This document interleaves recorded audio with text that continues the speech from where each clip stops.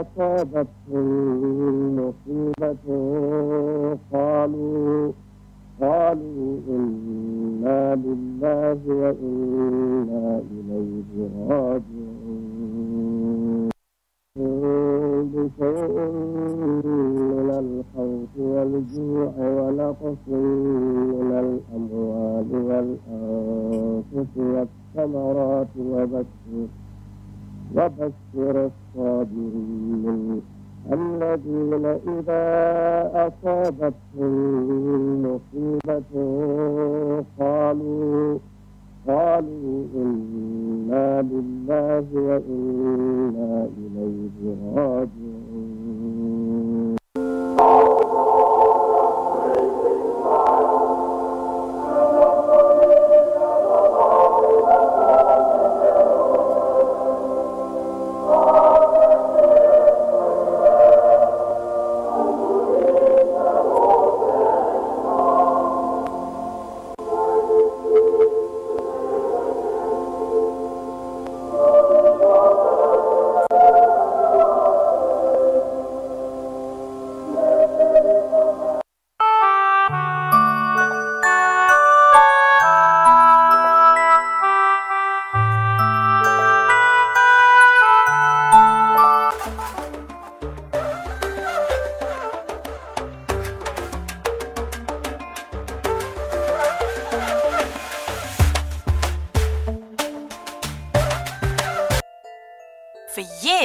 Children have been enjoying the best Nutrilac, adapted to suit your little one's dietary needs.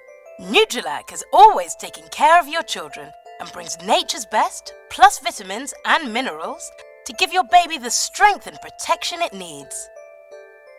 Zinc, the power behind your baby's intelligence, helping your little one grow up smarter and wise. Selenium, the protector of your baby's immunity, so that he can fight disease. Vitamin D, to give your baby healthy bones and teeth and to make him grow strong and powerful. Discover these three superpowers in the new Nutrilac Immunoprotect formula. For inquiries about Nutrilac Immunoprotect, contact Fawani Enterprise, Banjul on 7191815. Nutrilac, everything your baby needs to grow.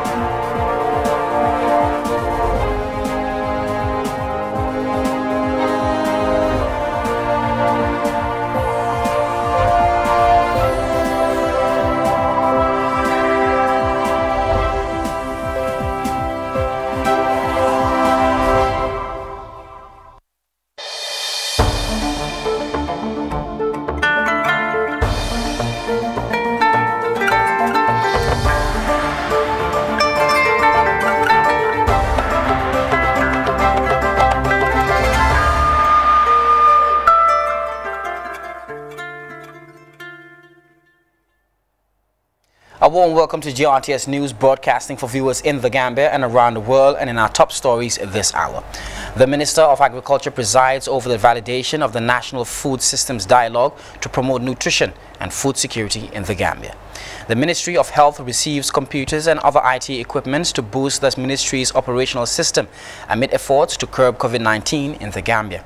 In sports, Team Gambia joins the opening ceremony of the Tokyo 2021 Olympics with track queen Gina Bass holding the national flag in the inaugural march through the iconic Olympic Stadium. Plus, 14 Zimbabwe nationals deported by the United Kingdom arrives in Harare. And former South African President Jacob Zuma granted compassionate leave from prison to attend his younger brother's funeral. That's the top of the news and much more coming ahead. Thanks for joining us.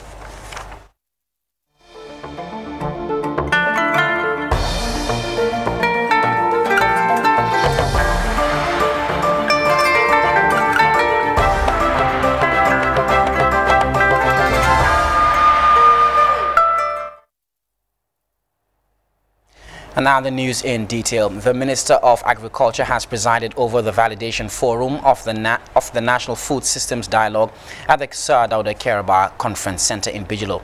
The document seeks to promote nutrition and food security in the Gambia to meet the United Nations Sustainable Development Goals target by 2030. Fatu Janembai reports. The Ministry of Agriculture, with partners, has validated the National Food Systems Pathway. The document is henceforth the working tool to guide the country's drive for food self-sufficiency, capturing the food chain. Amie Fabureh is the Agriculture Minister. I challenge you to study them in detail and give them a rigorous critique. Let me remind you that from today, the pathway will become a national document if you don't give it a due diligence, it deserves the outcome will be poor. However, looking at the different experience and the specializations in this room, because uh, to be candid, the caliber of people I've seen here today can do justice to this document because I have all the directors here and other stakeholders and I know this document can be improved today. The Gambia imports more than 50% of the food it consumes, and since it is one thing to produce food and to access food, the National Food Systems Pathway is relevant in addressing the challenges. The Agriculture Minister, Madam Fabureh, further explains. The National Pathway consists of several milestones which contribute to the achievement of the Sustainable Development Goals, Agenda 2030.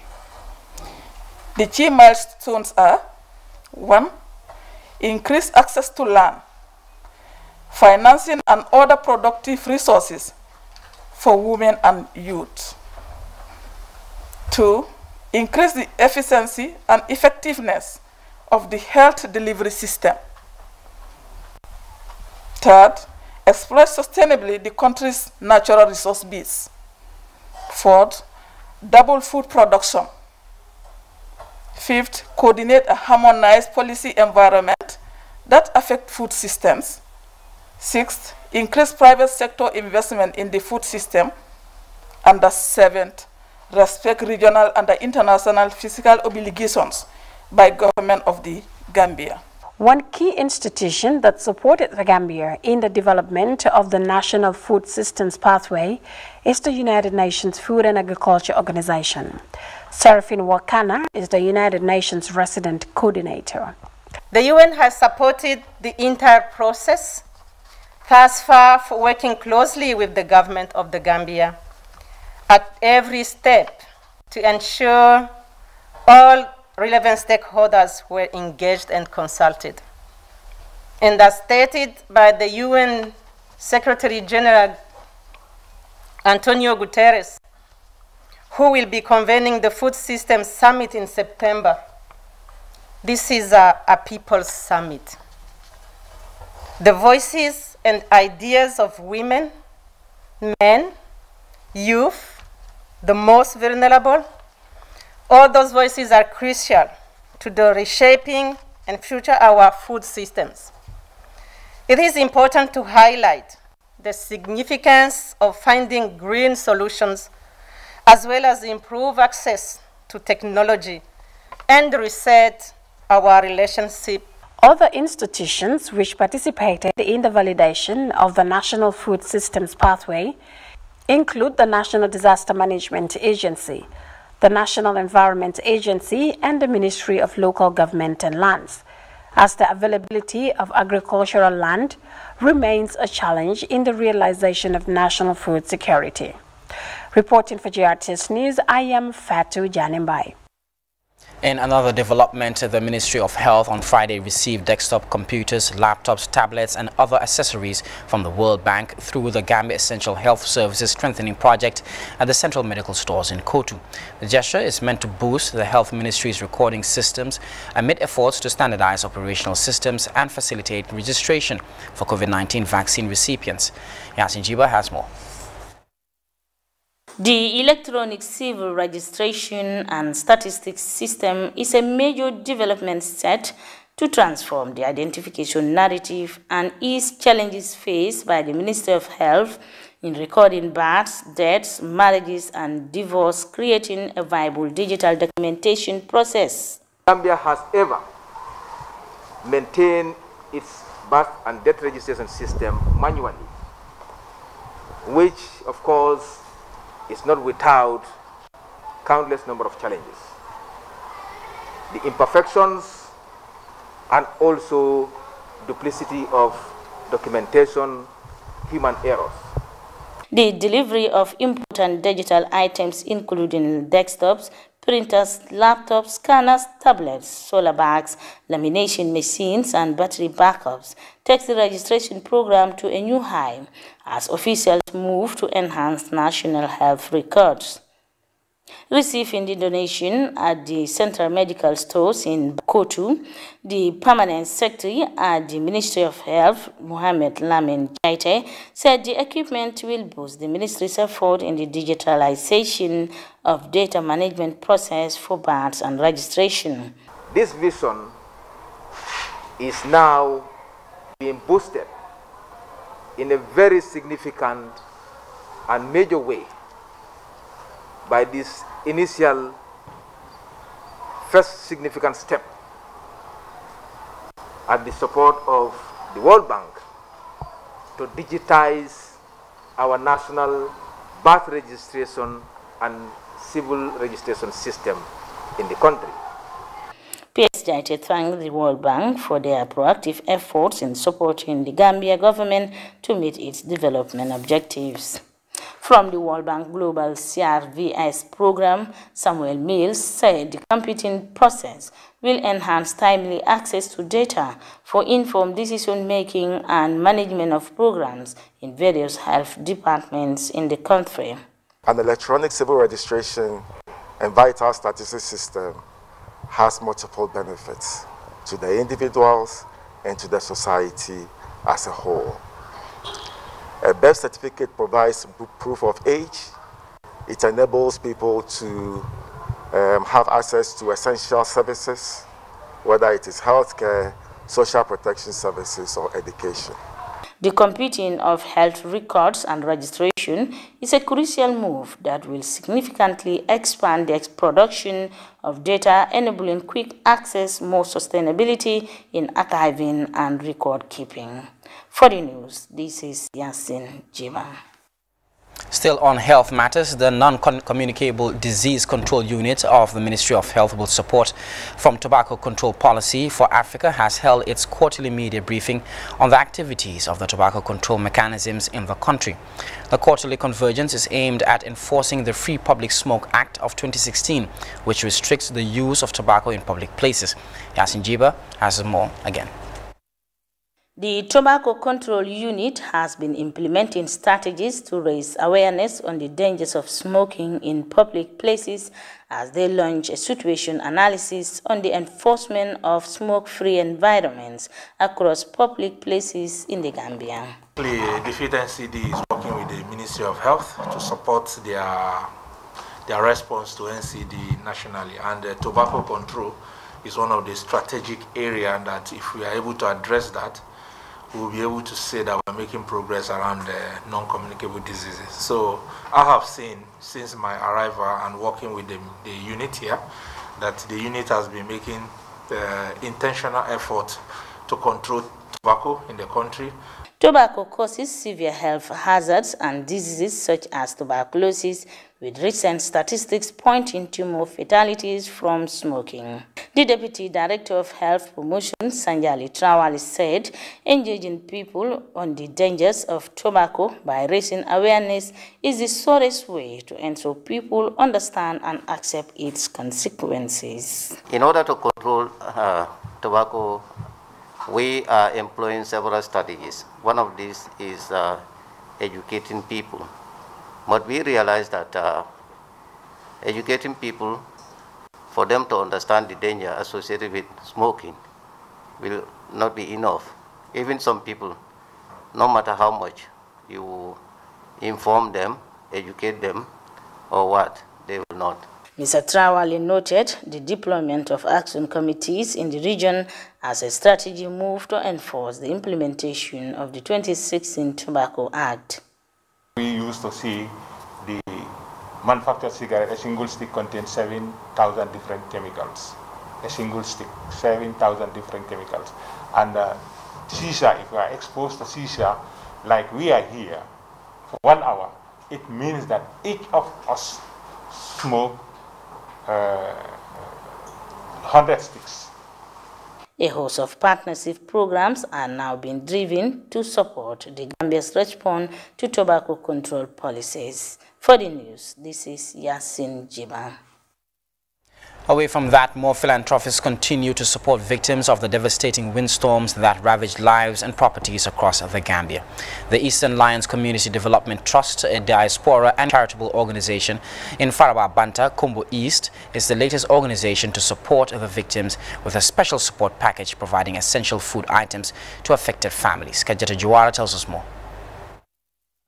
More philanthropies are moving to support victims of devastating windstorms that ravage lives and property across the Gambia. The Eastern Lions Community Development Trust, a diaspora and community charitable organization in Faraba Bantang, Kombo East, is the latest organization coming to the aid of disaster victims with a special support package providing essential food items to affected families. The gesture saw multiple beneficiaries receiving bags of rice and cash donations, as well as special certificates of appreciation to the group's local partners in development. Speaking during the presentation, the ambassador of the association, Omar Saidi Khan, said the gesture is meant to enhance the livelihoods of rainstorms, disaster victims. Today here we are uh, gathered again to give out another donation to uh, disaster affected people, that is the flood affected people of uh, last week's uh, windstorm. So today too we are giving out a cash amount of $23,000 and uh, eight, uh, eight bags of rice to uh, affected persons. Mr. Saidi Khan promised his association's continuous support to needy Gambians and disaster victims. Our intention is to reach out to people all over the country and even beyond if we can. So what we stand for now is to serve our people, to give helping hand to our people in need. Beneficiaries, including the headmaster of Faraba Arabic School, Karamu Jasi, thank the Eastern Lions Community Development Trust for its timely support to all affected communities needing urgent help in Faraba Bantang.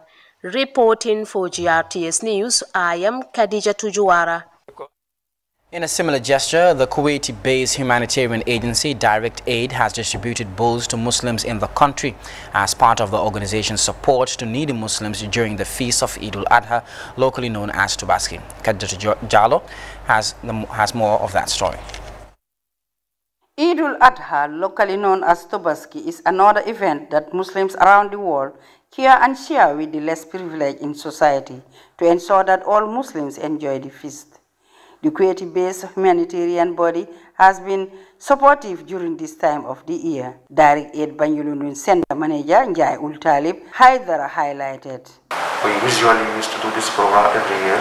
Today, uh, alhamdulillah, we have uh, around 226 cow distribution in the whole country in Gambia. Some are in Congo, in Province. And uh, every family uh, benefits from a large quantity of meat for this uh, Eid for Muslims uh, people.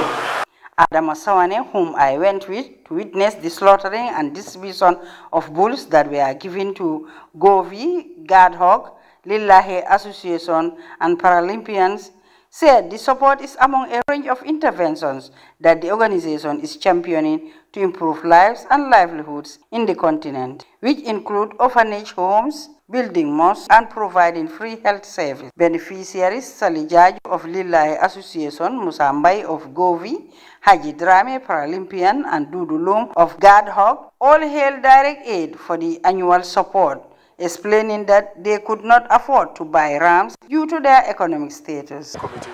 So on behalf of the committee, I would want to sincerely thank the organization that is Direct Aid for always catering for us, people with disability.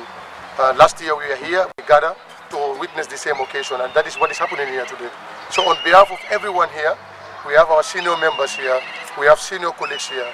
I want to thank you and hope, you know, the partnership and the great relationship that is between us and the direct aid will continue.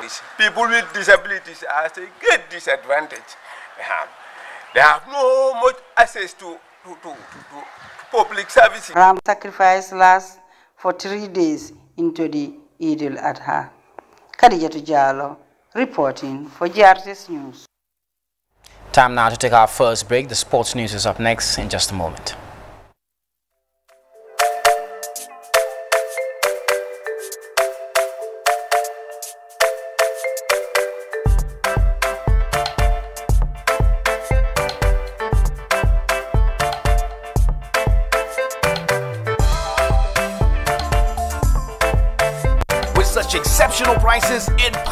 To miss the Butty Days. Butty Days is the unmissable appointment of Buttimat. From the 17th to the 31st of July, take advantage of exceptional discounts up to 50% off on several product family. The best quality, price ratio for the best construction is at Buttimat. So don't wait anymore. Let's hit the road for the Butty Days.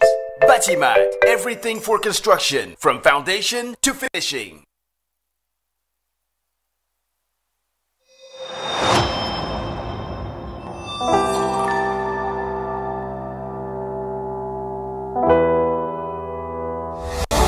Stay home as much as possible.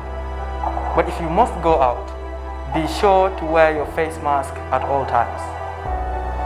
nañ fexe ñu toog kër waaye saa yu ñu waree génn ñu sol suñ face mask si ci waxtu wu nekk nsakata nga siisuwol kono bari niatarambe funtela fana nga face mask ko dum waato bee la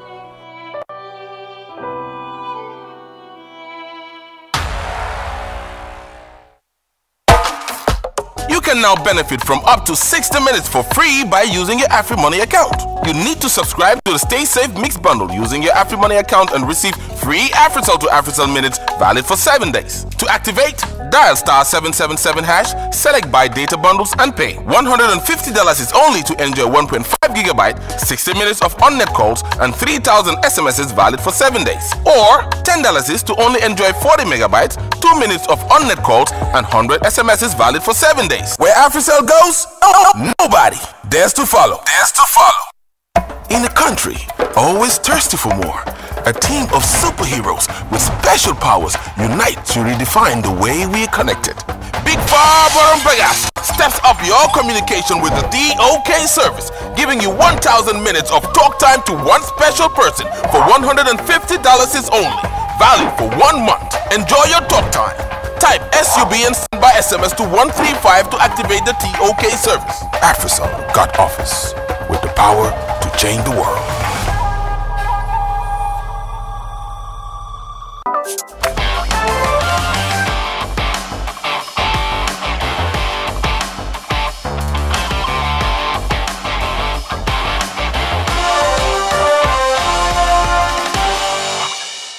Welcome back. Team Gambia has joined the opening ceremony of the Tokyo 2021 Olympics today with track queen Gina Bass and sprinter Ibrahim Kamara jointly holding the national flag in the inaugural march through the iconic Olympic Stadium. Host hosting athletes from around the world. The Olympic Stadium was lit up brightly with different, different lights and colors as competing nations, including the Gambia, took part in the much anticipated opening which unveils the long-awaited games cancelled last year due to the global pandemic. COVID-19 is still a major scare in the games as several athletes test positive for the virus ahead of today's opening, but organizers saw their dreams come true as the Olympics finally kicked off this morning in Tokyo. Africa's track queen Gina Bass has was looking forward or, or, rather is looking forward to set new records in multiple sprinting events during the games.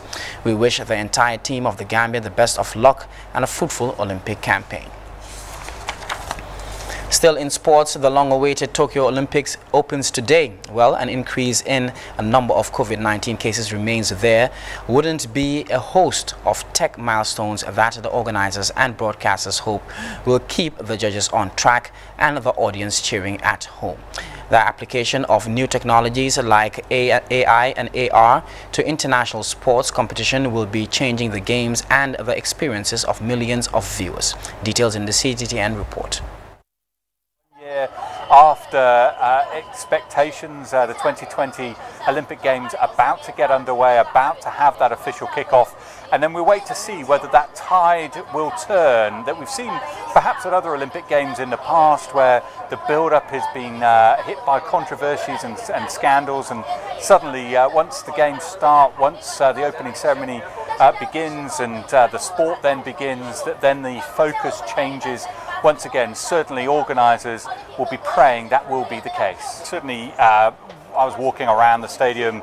It was around uh, lunchtime when that happened, and uh, certainly there were you know, more people out and about uh, trying to soak up what atmosphere they can. But I went to one or two of the uh, event venues today, and uh, it's just so heartbreaking seeing the venues completely empty. Of course, this will be a game played uh, in front of empty stadiums and arenas. Uh, fa local fans uh, only recently finding out that uh, that they would not be allowed to partake uh, in this games, and certainly that's going to be the case at this opening ceremony as well. Uh, but if, so this is all going to come down to you know whether the TV uh, games will be able to change that public opinion, and of course that will depend very much. You would think uh, whether there'll be perhaps early medals for Japan, and if that happens, that perhaps that will galvanise a little extra feeling towards this Olympic Games. Uh, but as I say, you know, as we hear at the opening ceremony, a surreal atmosphere, very quiet, other than these protesters here, and certainly organisers still have a lot to do in order to win over that sceptical public. Here we are, one year after uh, expectations, uh, the 20. We will take another quick break. When we return, we'll take a look at news from beyond our borders.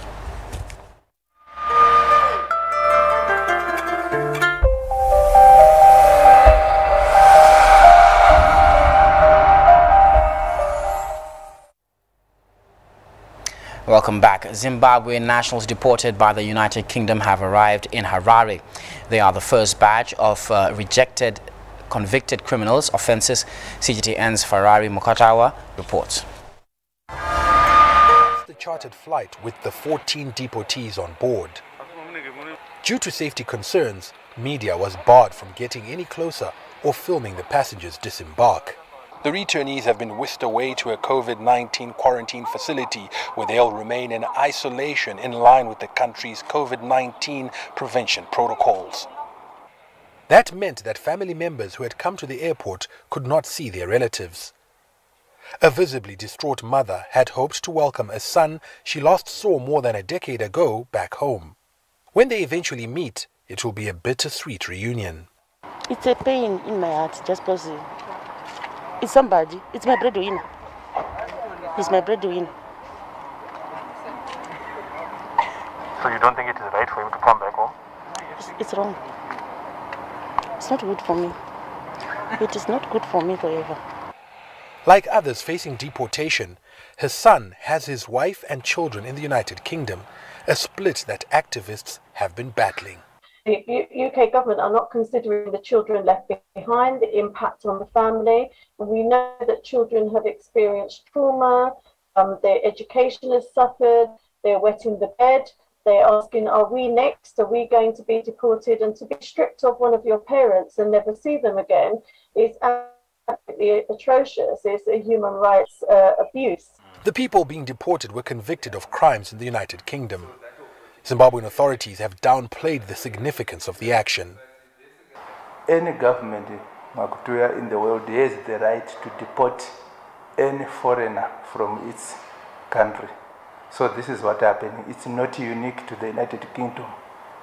It is uh, recently, last week, we had about 220 Zimbabweans who were deported from South Africa.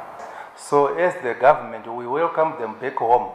We do everything in our power to make sure that these uh, deportees are integrated into the society once they arrive here. A total of 150 Zimbabweans face deportation from the UK, with thousands relocated due to economic turmoil at home. Farai Mwakutuya, CGTN, Harare, Zimbabwe. Former President Jacob Zuma who was jailed this month, was uh, led to South Africa's worst ride in years, has attended his younger brother's funeral on Thursday after he was granted compassionate leave. Security was scaled up within Nkandla with soldiers patrolling the area and police vehicles stationed at strategic positions as Zuma joined his family members during the funeral services. A statement from the government said he was later taken back to prison in the afternoon. 79-year-old Zuma is serving a 15-month jail term for contempt of court. Protests erupted after Zuma handed over himself on July 7th and later widened into protest by looting and vandalism. And now to the latest on the coronavirus pandemic. The Ethiopian Ministry of Health have announced that it has administered more than 2 million doses of COVID-19 vaccine so far, and it has plans to double that number in the few weeks. CGTN's Girum Chala has more. Ethiopia was one of a handful of African countries that is in March 1st began administering COVID-19 vaccinations to its citizens. Now, the nation has announced more than 2 million citizens have at least got their first dose. Still, our priority for vaccination will be people who are vulnerable to the virus due to their working situations. Therefore, we will continue giving priority to police and security forces, customs agents, employees of prisons and courts, teachers at all levels, as well as hotel and tourism service actors and media people. Ethiopia received an additional 400,000 AstraZeneca vaccine dose through a COVAX facility. The U.S. government also donated 450,000 doses of the Johnson & Johnson vaccine a few days back. These are expected to boost efforts to vaccinate as many Ethiopians as possible. I'm very happy about getting this chance. My work environment endangers my health, especially when it comes to me being near to catch the virus. Considering all, I'm thankful for the opportunity I was given to take my first dose. The number of vaccine doses is still too low compared to the population size we have in the country, and I'm delighted to get this vaccination. I say until people get vaccinated, they should continue wearing their face masks, use sanitizers, and keep a reasonable distance to avoid the spread of the pandemic. Still, the battle against the pandemic is far from over here in Ethiopia.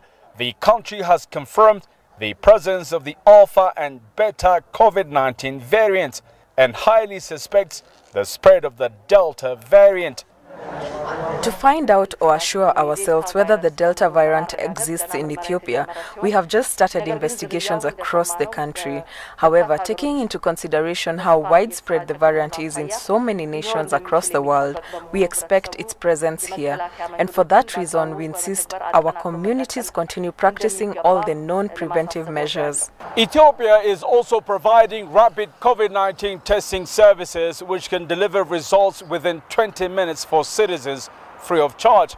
Government-owned health facilities across the country are now offering that service.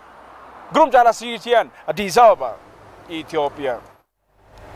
Before we end this newscast, a quick look at our top stories. The Minister of Agriculture has presided over the validation of the National Food Systems Dialogue to promote nutrition and food security in the Gambia. The Ministry of Health has received computers and other IT equipment to boost the ministry's operational system amid efforts to curb COVID-19 in the Gambia. In sports, Team Gambia have joined the opening ceremony of the Tokyo 2021 Olympics with track queen Gina Bass holding the national flag in the inaugural march through the iconic Olympic Stadium. Plus, the 14 Zimbabwe nationals deported by the United Kingdom have arrived in Harare. And former South African President Jacob Zuma have been granted compassionate leave from prison to attend his younger brother's funeral. Well, that does it for this edition of GRTS News. Thanks for the pleasure of your company. Do stay with us for more details.